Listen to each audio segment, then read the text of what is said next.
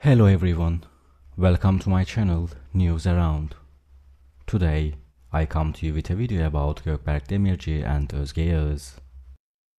Before I move into my video, if you like what I'm doing, please don't forget to subscribe, leave a comment and press the like button.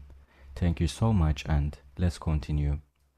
Özge who is known for her starring role in the romantic comedy series Yemin, celebrated her henna night with a lot of emotion. Her family, close friends, and fans attended the event, which was held in a luxury villa in Istanbul.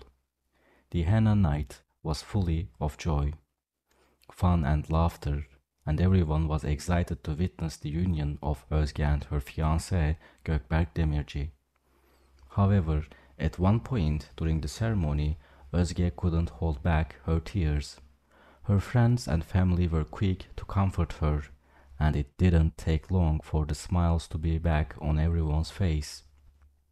Gökberk Demirci, who is known for his role in the drama series Yemin, looked handsome in his traditional outfit, and he seemed to be enjoying every moment of the ceremony. He even got emotional when he saw his bride to be crying. When asked about their upcoming marriage, Gökberk said we are both very excited for this new journey. We are looking forward to our upcoming wedding and what the future holds. The couple will be tying the knot this summer and they have already started making plans for their honeymoon.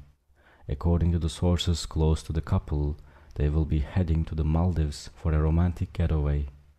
We wish the couple a lifetime of love and happiness and we can't wait to see what the future holds for them. Thank you so much for watching my video. See you in the next video. Take care and goodbye.